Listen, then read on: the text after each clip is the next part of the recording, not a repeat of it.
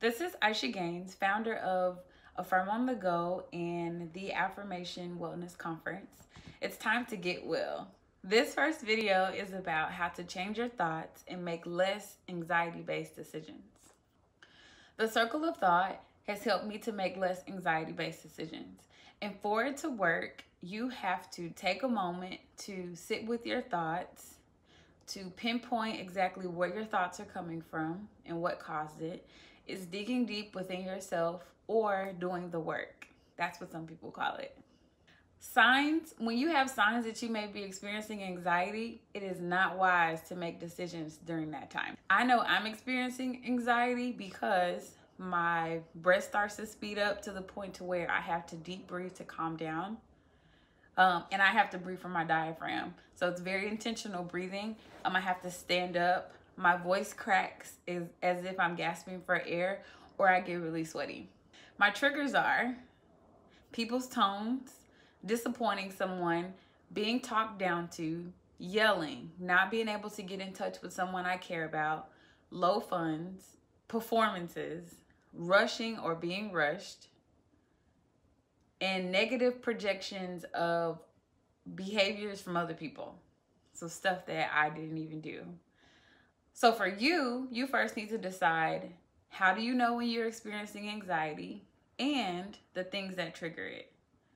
Then you need to learn helpful and healthy coping strategies.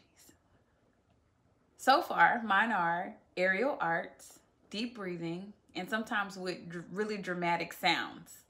And using the circle of thought to pinpoint exactly what triggered my anxiety.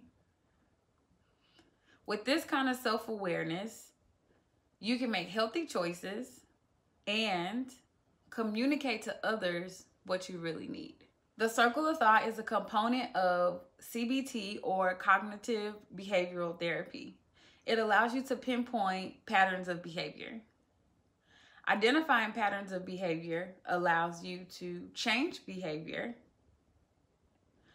The circle of thought is centered around how we process life's events. And we can process life's, life's events through four different lenses. So that's past experiences, thought distortions, which are the ways we create thoughts that aren't true. We can process it through the negative or through the positive. Events are things that happen in our lives. It's life happening, and they can be big or small.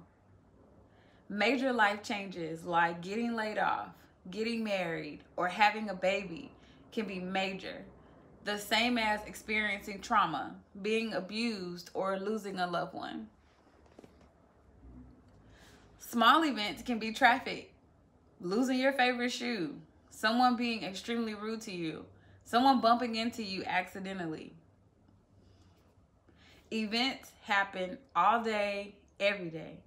And your brain logs these events as safe or unsafe. So when an event is happening or has happened, we process it and we compare it to other things in our mind past experiences, a thought distortion, which are the ways we create thoughts that aren't true, through a very negative lens or through a positive one. And this happens all day constantly with different things. Um, after we process it, whether negative or positive, it determines what we think. So if you ever wonder where your thoughts came from, or how did I come up with that, or what did I think of that, it came from you. You create your own thoughts, and it's based on how you've processed a life event. Your processor, your lens, your filtering system creates your thoughts.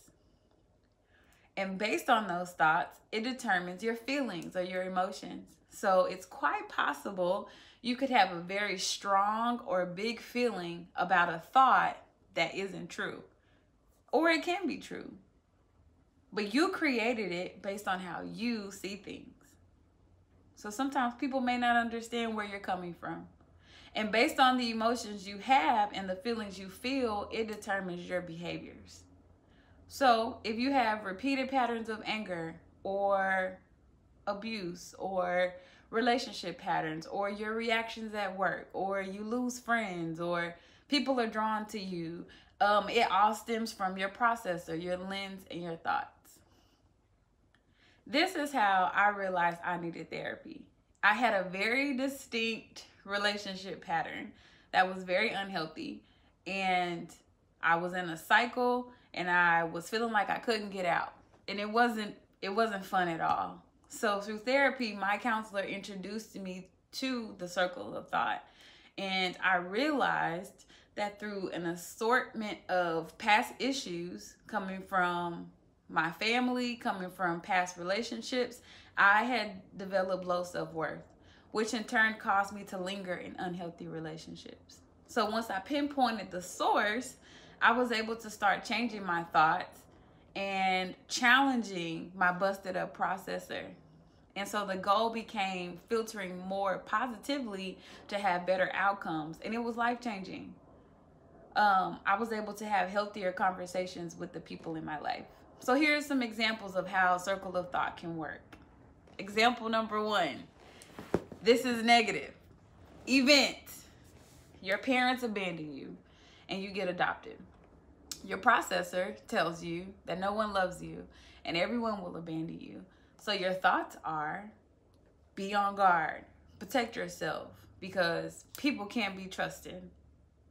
Your feelings are cold towards people, mean in relationships, and your behaviors are jumping from relationship to relationship, hiding your real feelings, starting fights, or even cheating. Positive.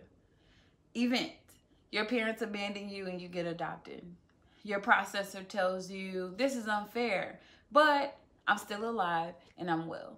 Your thoughts are some things happened to me in my past that I don't appreciate, but I won't let that stop me. I won't let that detour me.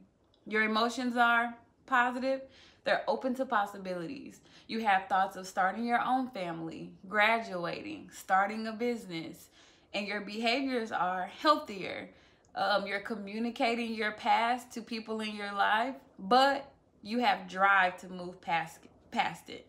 You share in your relationships and you grow when necessary when things get tough. You see the difference? Example number two. Negative event. You call your boyfriend. He doesn't answer.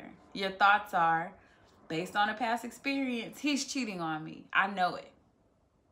Your emotions are anxiety based. You're angry and you're frustrated. You're trying to figure out what to do. Your behaviors are I'm pulling up to his house. Or when I talk to him, I'm going to let him have it. I'm going to tell him all my feelings. I'm going to tell him that he's not right. Positive. Event. Call your boyfriend. He doesn't answer. Your thoughts are based on a past experience, I did have someone cheat on me, but this guy is very supportive. He normally answers. He doesn't really hide things from me. He does work a lot, so maybe he's tired. Your feelings are concerned but loving. You believe that your boyfriend is simply just tired. So your behaviors are I'm to send him a text. I'm to send him a text that says, Hey, gave you a call. Call me when you get a chance. Or, Hey, hope you're getting some rest. Call me when you wake up. And you wait. You go find something else to do and you patiently wait. Best case scenario, he's really asleep. Great thing for you, you did not make a decision, an, an, an, an anxiety based decision. So your thoughts are up to you. And if you have enough evidence to support a negative thought or support something that's going on, by every means, remove yourself from that situation and deal with it as needed. But if you're one like me who found herself in a very repeated cycle of unhealthy relationships, then you have some mental work to do. Remember, peace is possible, and we all have the ability to live life well if we choose to. This is Aisha with Affirm on the Go, and I hope this video was helpful to you. In the next video, we will be talking about thought thought distortions,